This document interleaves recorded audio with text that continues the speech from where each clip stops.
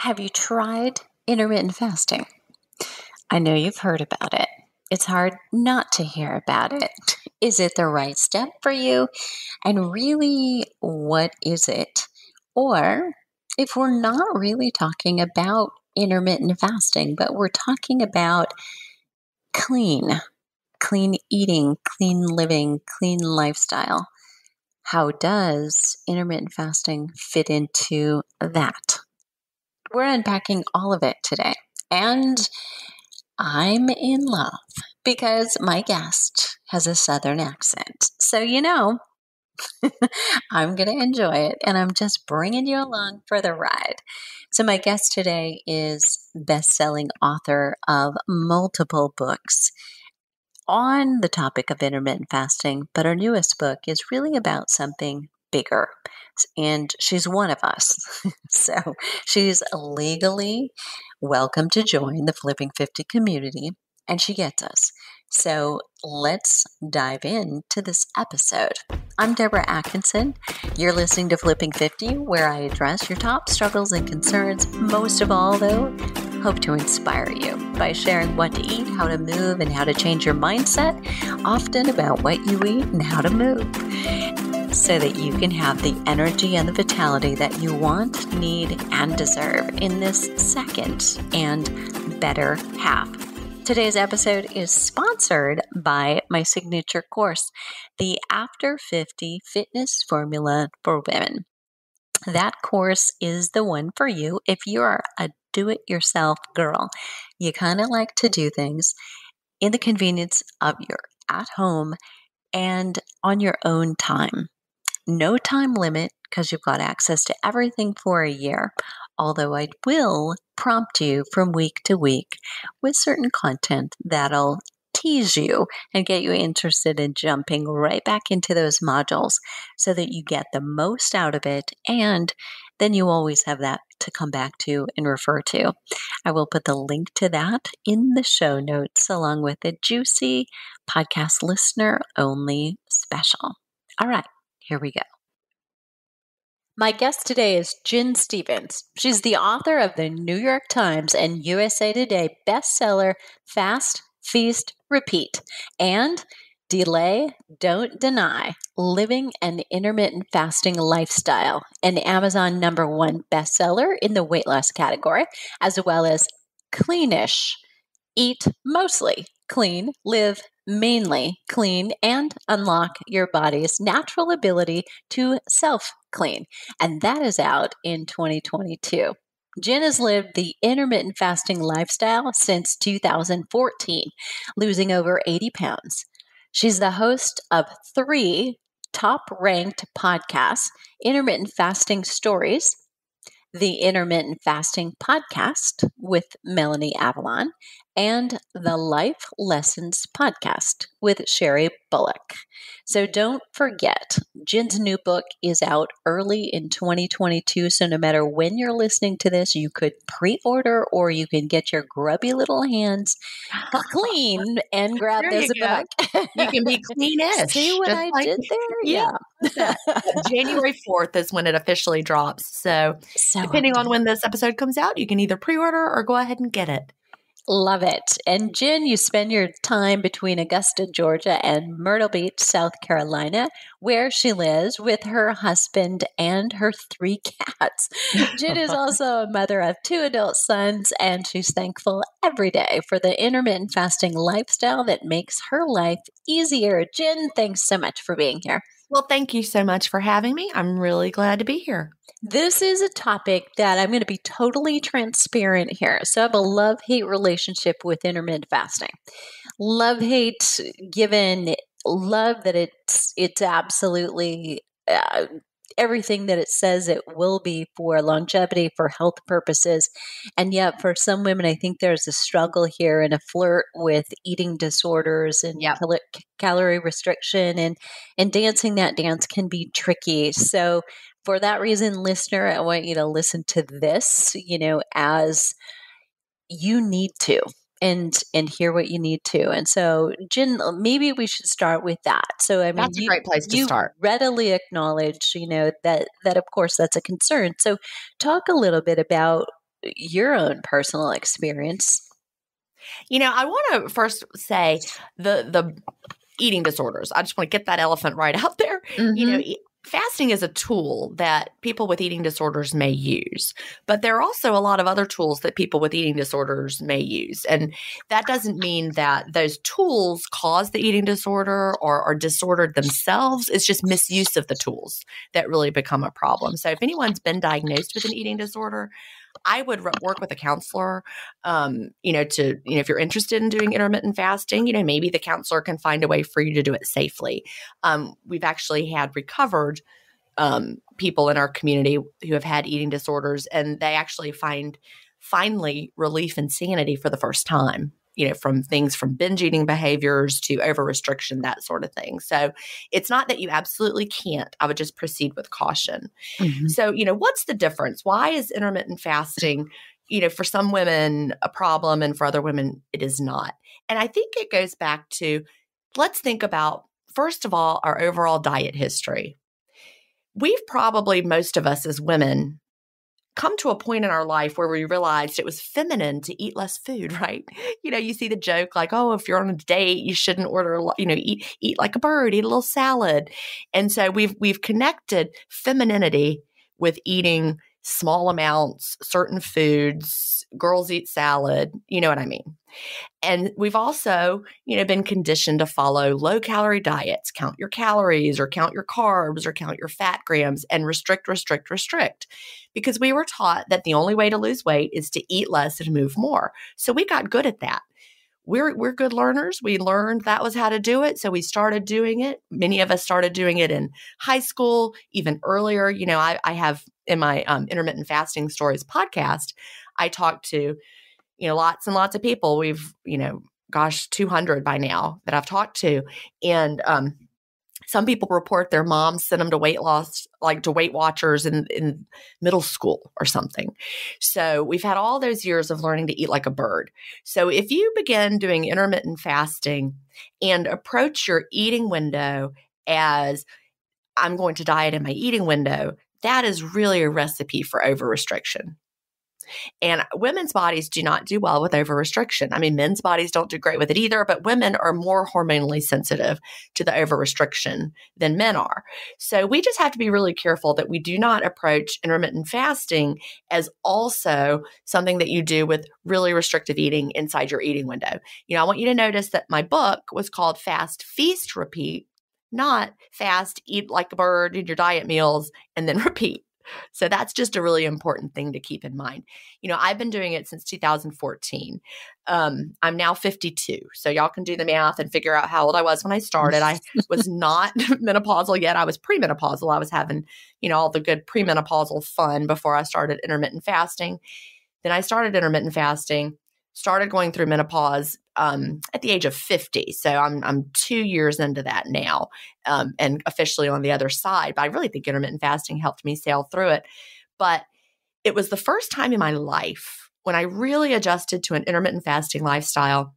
It was the first time in my life that I feel like I lost the obsessive thoughts about food and the restrict, restrictive thinking. It's almost like, you know, all those years, the decades where I was constantly looking for the right diet, trying to lose the weight, when I was obese, when I was, you know, 80 pounds heavier than I am now, that felt very disordered. You know, for the first time now, like I said, I'm 52 I'm wearing, you know, the same jeans that I fit into in 2015 when I hit my goal weight and my weight doesn't go up and down. I don't yo-yo. I'm not looking for a new diet. I eat well. I well I'm well nourished. This feels like the least um obsessive thing that I can do. It certainly it's the least disordered I've ever felt around food in my entire life, really. So really I love hearing that because that's kind of the opposite that someone might suspect that it's really were, the opposite right? of what you you know how George mm-hmm. Costanza has that period in Seinfeld where he does the opposite of everything. Mm-hmm.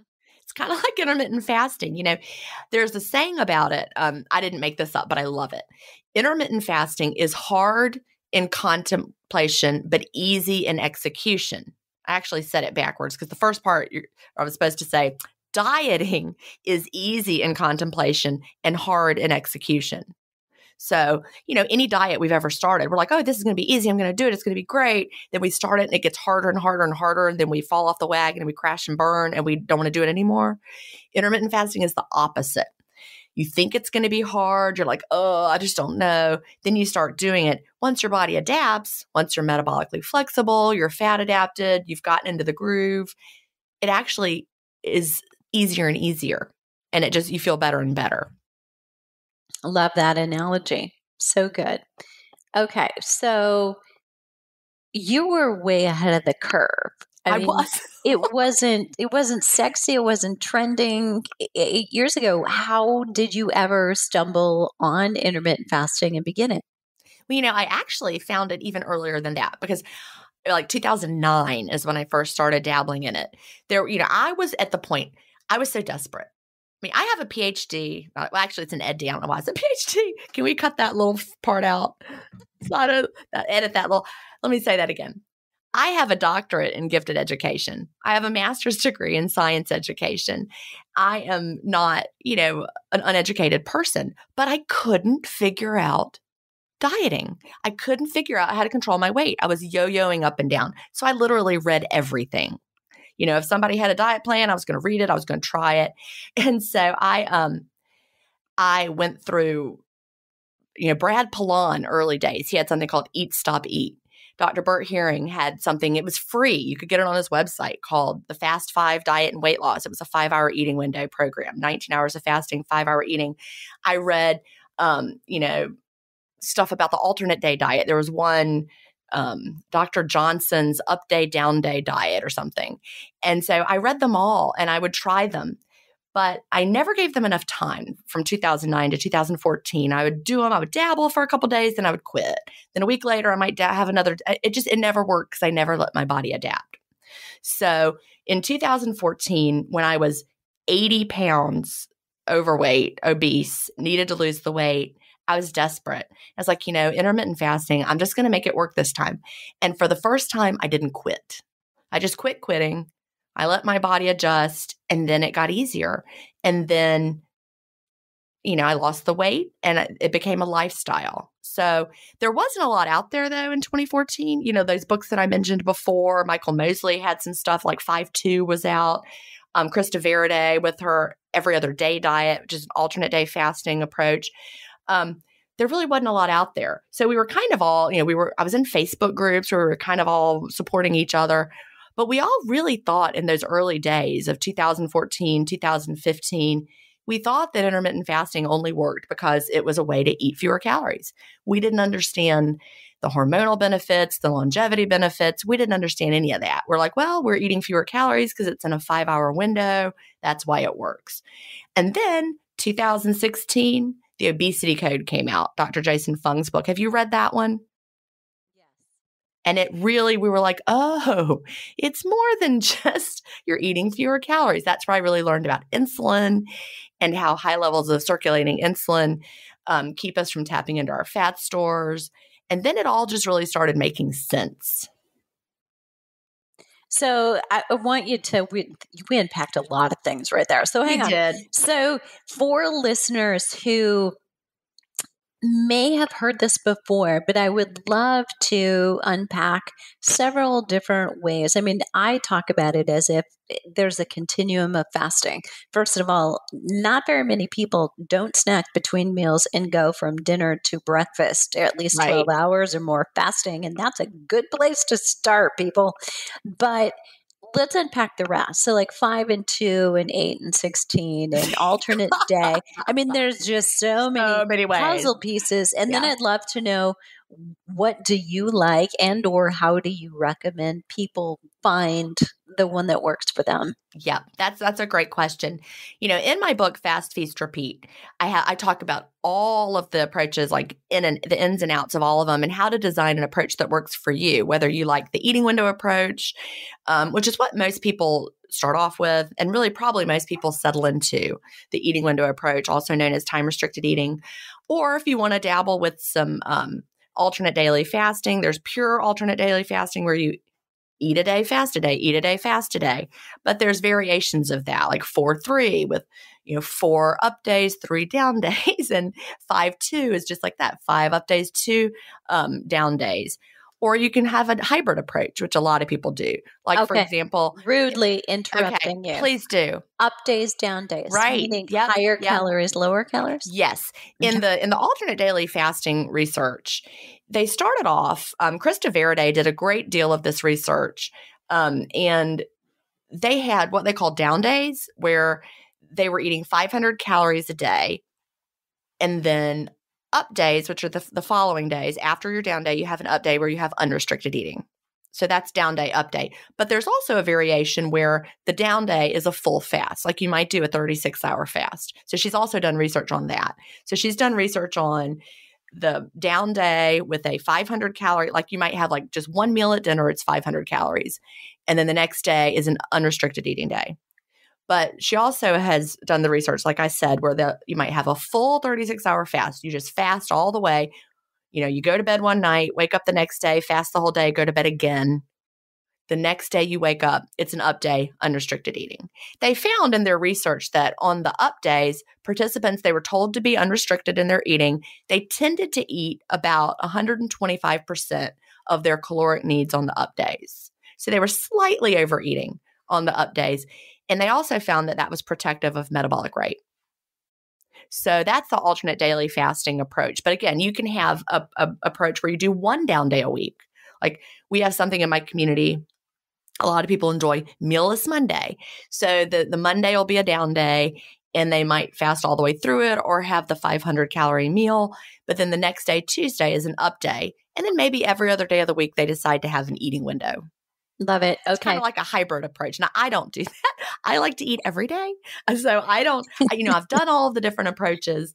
Uh, I've tried them, experimented with them. There was a time right after the obesity code came out because he really talked about, you know, alternate daily fasting is what he had in his appendix, you know, like the skip yeah. a day. Then, so I was like, okay, well, that's what Jason Fung says. I'm going to try it. So I did it for a while and I'd done it before, but since that was what was in the back of the obesity code, I was like, I'm going to just really stick with it. And I did it a little while, but right around, um, I don't know, a couple months in, I was like, you know, I really just want to eat every day.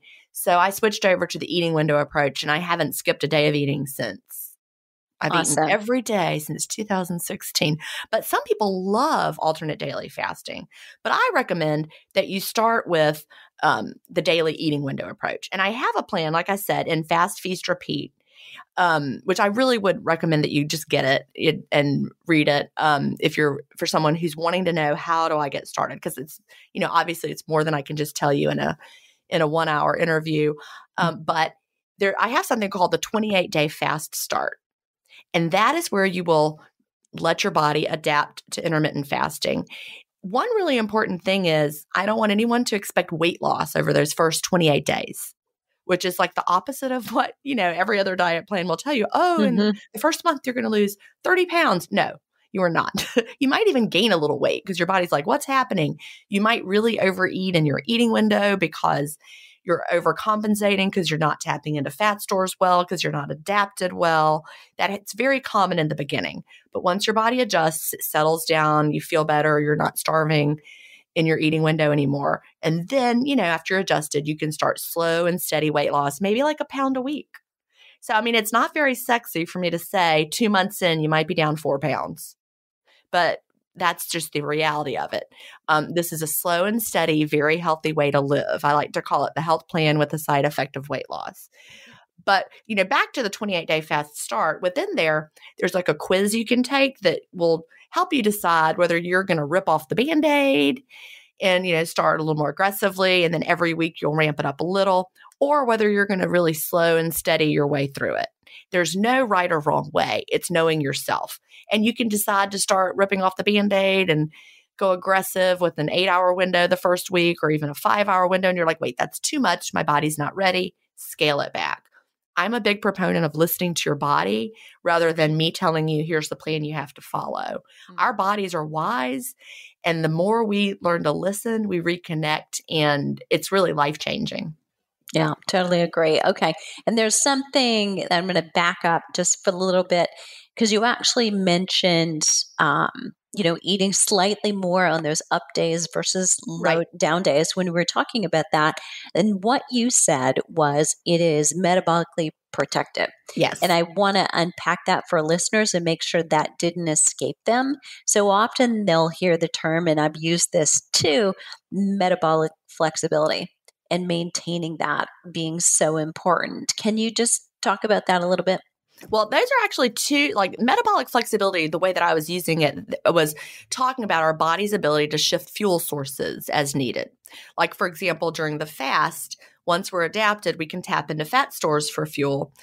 And then when we are in the fed state, we use our, our meal as our fuel. So metabolic flexibility on that in, in that regard means your body has the ability to switch from fuel sources as needed. We're born metabolically flexible, but we lose that with our culture of um, eating, you know, six times a day and then snacks and then lattes. And then it's like, I can think back to when I was obese. I was never more than 30 minutes from putting something in my mouth, whether it was a latte, sip of a latte, or a snack. I mean, honestly, it was like all day long, constant. And so I was definitely not metabolically flexible. I had to go from snack to meal to latte because I needed that constant influx of energy or I would be hangry. With fasting, we don't have that because you're tapping into your fat stores so well during the fast. Once you're adapted, your body's like, I got this. You got your fuel right there. You just go on about your day. It's easy. Then you eat later. It's just, it, it just is seamless. No more hangry. All right. So that's what I meant by metabolic flexibility. As far as the metabolic boosting of the up day, there's very clear research that the more we eat, the faster our body actually upregulates our metabolism.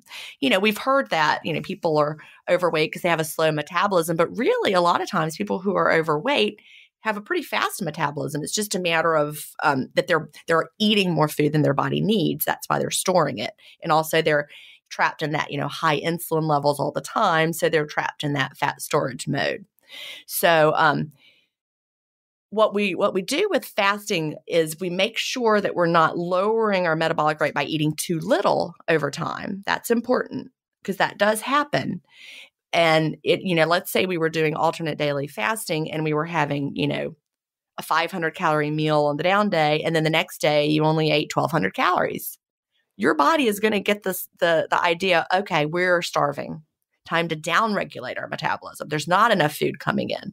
So if you don't have enough fuel coming in, your body downregulates your metabolism.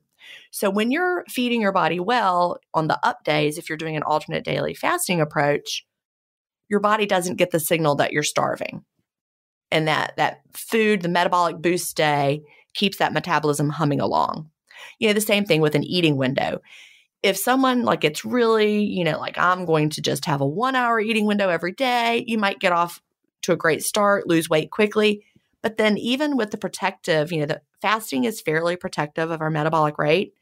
But if you're over restricting still within too much, you know, short window, not eating enough, your body will downregulate over time. So for me, I find I naturally gravitate to some days I eat more, some days I eat less, and I'm very responsive to the the cues that my body sends me. But you know, it is very clear it, the, if you eat a lot of food over a long period of time, it will raise your metabolism. So you know what we've heard. You know, I have to eat six small meals to get my metabolism going. That's based on truth, except that all those six small meals may make your metabolic rate go up, but not as much as the food that you ate. Right. if that makes sense. Right. Your, your rate may be boosted, but it's not boosted so much that it overcomes all the fuel you just put in. Right. putting in too much fuel every single day, all the time, you're going to gain weight. That's how it works. And there's never ever a reason for your body to dip into fat Yes, stores because it's it got up. constant availability. Yes. Exactly. Yes. Oh, yes. Okay. I'd like to like to rip apart some bodybuilders and that kind of content, but we won't go there. No. I mean, it's founded on the science, right? And, we, we just can apply it incorrectly. Oh, Mhm. eating eating revs my metabolism. The more I eat, the more it'll rev it. Yeah, but Yeah. Yeah. Yeah. So, and you've got to think, you know, why would we compare ourselves to you know, somebody who's not doing what we're doing. And that's where I think we also get off, you know, when when it is body bodybuilders, figure competitors, Oh who, yeah. who are telling you to do this and they're doing it to get the muscle protein synthesis regularly well if you're not lifting like that you're not you're not otherwise eating like they're eating Right. You have to That- decide are you trying to Yeah. build a bigger body Yeah. or trying to make your body smaller?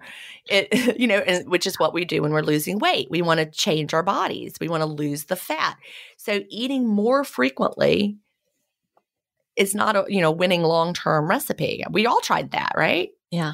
So true so true all right so you've had i mean i love the titles of your books first Thank of you. all i just i could geek out about that but i think there's a you know there's clever and there's clear and you have managed to put the best of both worlds together so it's, it's very obvious what the book is about but it's also somewhat clever and fun what made you write cleanish You know, one funny thing happens with intermittent fasters, and it's almost universal. You know, I, I've had um, intermittent fasting support groups since 2015 when I started one just for me and my friends. And it was like me and 30 people. And then it grew and grew and grew till finally, when I left Facebook, I had like almost half a million people in my combined groups. So I left. I was like, I can't do this anymore. It was too much. But one thing, and with the podcast, talking to all the people, and and from the support groups almost universally we find that our tastes in food change the longer we do intermittent fasting. It's the weirdest thing. When i started in 2014 i ate like a teenage boy who was at the college cafeteria with mom not there watching him. You know i was eating the standard That American scares me. diet. Well i know. I was i was like i'm gonna just eat whatever i want and i was driving through i was a lot of ultra processed foods. That's also how I was raised. I really unpack it in cleanish. You know, my mother raised me on SpaghettiOs and TV dinners because that's what I would eat because that's what she let me eat. Right. So I had like the palate, really honestly, of like a child. And that's not a good thing. But over time with intermittent fasting, I started to suddenly find vegetables gained more appeal. I really think a lot of it came from, you know, fasting clean and drinking black coffee during the fast with that bitter flavor profile. I swear Mhm. that opened up my palate so that I could tolerate, you know, Brussels sprouts and things like that. But almost universally, we find people who are doing intermittent fasting, they start to feel better. And then they start to crave better foods. Then they start to eat better foods. And it's like a cycle that continues. The better you eat, the better you feel, the better you feel, the better you eat. And then all of a sudden, you realize your old favorite, driving through the golden arches, makes you feel awful. Like I remember one Christmas, you know, I used to be like the person who would always go to the holiday flavors at Starbucks, right? Like pumpkin spice latte or gingerbread latte. I was so excited. I remember going to Target one day, Christmas shopping, and gingerbread spice was out, and my eating window was open. I'm like, I'm gonna have a gingerbread latte because I can't. And I took a sip of it, and I was like, Why does this taste like rat poison? Did they change what they put in it? No, my tastes had changed. Like I can no longer tolerate bottled salad dressings. They taste so fake and gross. So I just started getting interested in eating in a cleaner way. But, you know, that can send you down a slippery slope towards like orthorexia or something if you become obsessed with, you know, everything must be perfectly clean. So that's why I started describing how I, I ate as cleanish. You know, I focus on real foods, whole foods, high quality foods, but I, I don't stress out about you know, every little thing when I go out to eat, I'm cleanish. You know, I avoid, for example, cooking with certain vegetable oils that I don't think are are good for your body. Um, like I would never use canola oil at home, but if I'm out at a restaurant and I don't ask them what their oil is like or avoid something just because, you know, I, I'm cleanish. You know, my goal is to, you know, lower my overall toxic load by putting less in when I can. I also work on, you know, eating nutritious foods because that, that also helps our bodies, you know, self cleaning mechanisms. The nutrients in the food work together with our liver, for example. And then I also really um, make sure that I am making the most of my body's self cleaning mechanisms. Intermittent fasting is one great example of that. When we're fasting, our bodies upregulate autophagy, which is our body's recycling and upcycling system. And it's our body cleaning up all that cellular junk. Super important. Now, you do not have to do intermittent fasting to read Cleanish. It's not an intermittent fasting book. I had to really sell my editor on that. She's like, What's your next intermittent fasting book? I'm like, Nope, it's not going to be about intermittent fasting. But there's a chapter in there about intermittent fasting because I believe it's your most powerful self cleaning tool. But when we learn to, you know, support all of our body's self-cleaning mechanisms through our food choices, our lifestyle choices, for example, I don't drink wine every day anymore because my liver doesn't doesn't need that every day, right? You know, it keeps my liver from processing other toxins.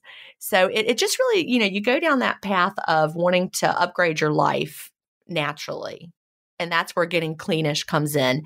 You know, it even applies to what you put on your skin you know, what you clean your house with, your laundry detergent. So um, all the way through Cleanish, I walk the the reader through how to decide what's important to you. Like you're going to decide these are my never things. Like you're going to create your own personal definition of cleanish eating, cleanish living. For me, art, artificial sweeteners are a never. They're a never for me. I don't like the way they taste. They're not good for our bodies in any way, shape, or form. That is something I'm never going to have ever but other people may decide, you know, I'm going to every now and then I might have a diet soda because it makes me so happy. And that might be part of their definition of cleanish living, but they might make a switch somewhere else. It's just, we want to intentionally put fewer toxins into our body and then intentionally help our bodies take out the toxins that are going to get in anyway. Love it. Love it. And what I hear you saying without maybe saying it is that you've got this very practical application within the book, but I hear within how you're delivering it that you're really addressing the psychology and the motives behind and how to get to that underlying ability to to change which is one of the hardest things that humans do Right. I, I, believe very much in empowering people to design their own change. You know, we've all bought the books that had food lists and do's and don'ts. And then eventually you're like, I am sick of this. but I mean, I was a teacher for 28 years. You know, I, um, I talked about my doctorate being in gifted education. And I know that, that choice and empowering people is powerful and and that's how they're going to make the change. You know i can tell you what to do all day long but until you internalize why you're doing it and you want to do it it's not going to to make you change a thing.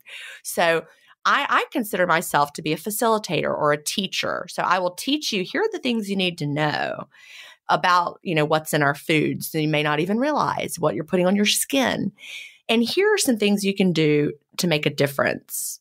And then you decide what's important to you Love it.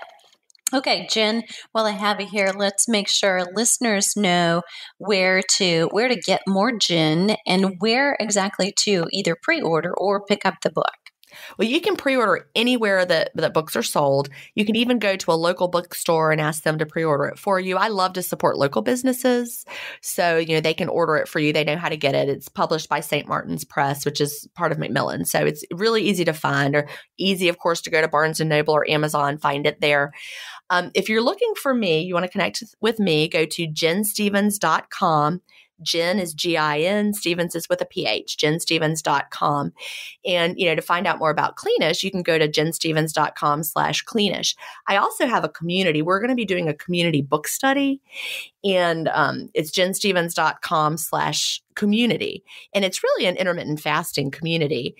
And within it, you know, we support each other through intermittent fasting. It's a paid membership community, but it's it's not it's not very much at all. Um, it's like really ends up being like a dollar a week if you do the, the, yearly membership, which is not much to connect with other people. But we'll be having a cleanish book study that starts um, January 5th of 22. And we'll be working through it. It's not the kind of book that you sit down and you like read it from cover to cover and then you're like, all right, I read that. Instead, you read a chapter, then you have a reflect and take action section and you sit with it for a while and you're like, all right, what can I do differently? Then you go on to the next chapter, and every bit of it is just like taking you down that path. till you get to the end when you when you develop your definition of cleanish eating, your definition of cleanish living, and then you have your implementation time. So um, I would love to have people join us in the community if they're interested. I just love it there. It's so a positive place to be. So many great resources. I love it. Love the foundation of entertainment and education together, but also finding each individual's right way to apply it. Love what you're doing. Gin, thank you, thank you so much for being here. Well, I've really enjoyed it. Listeners, okay, so now it's your turn. So, first of all, you have your assignment. You're going to either pre order or you're going to run out and grab that book and it'll be great content whether you join Gin's community or you're in our Flipping 50 Insiders group on Facebook. If you're not there, listeners, it's a great place to put your podcast question and potentially that'll be used on a Friday podcast where I do Q&As. So it's facebook.com forward slash groups flipping 50 insiders. And if you have a question that I didn't ask Gin and you wish I would have, you can put that question below the show notes today at flipping50.com forward slash IF. That's for intermittent fasting, but just IF. And what are you waiting for? Let's start flipping 50 today.